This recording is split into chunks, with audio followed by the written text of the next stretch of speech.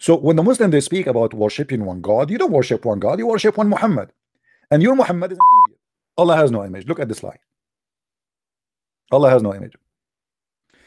The first time I came to know Allah has no image was when there was a visit to masjid for non-Muslims conducted by Islamic Affair Department.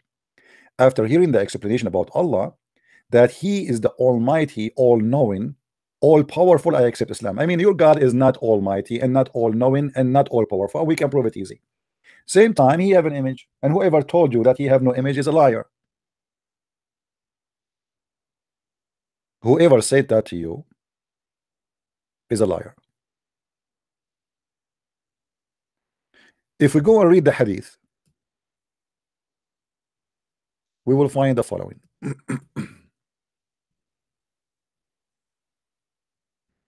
Allah has no image, right? Yeah, right. here we go. It says here that Allah has an image. And the Muslim they translate the word image as a shape. Allah will come to them in a shape other than they knew. So mean, which mean Allah is a changing his shape. I, I there's a movie, it's called The Transformer. Look like Allah is one of those transformer. If we ask the Muslims what is the logic that Allah he changed his shape, they will not know. They will say Allah knows best.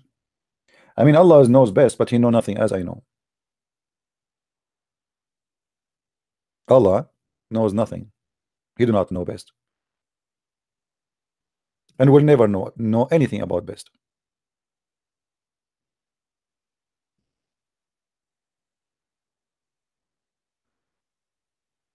What Allah knows about knowing best? That the baby is created from a sperm coming from the backbone of the man and from the ribs of the women as in chapter 86 verse number 7 so if you convert it to Islam because Allah has no image I mean this is very silly lo logic by the way because what does have to do with with the with believing in God to be exist or not? If your God has no image that's mean he is like what? Uh, water take any image. We put him in the class he will become a class. We took him in the box he became like a box. What does that mean?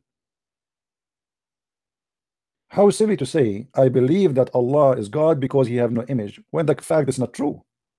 Allah have a shin uh, you know you can watch my videos I made just a few days ago about Allah have a physical body and even Zakir Naik may Allah bless him and keep him protected from the police because he's wanted.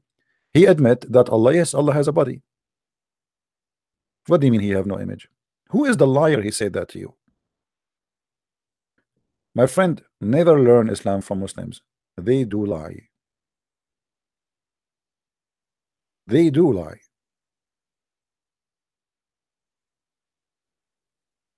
When I was studying Islamic law, for some people maybe do not know, I have a degree in, in, in law, which is Islamic law, supposedly. I never learned anything about Islam because who dare to question you know what you learn what they want you to know and what you wanted to know that Allah is amazing Muhammad is amazing Islam is perfect the law of Islam is perfect but it's the most stupid cult ever but who dare to question I did not learn from the school I have to work myself to learn what Islam teach. Otherwise, Islam doesn't, you know, it's not. You go to Islamic school, they teach you nothing.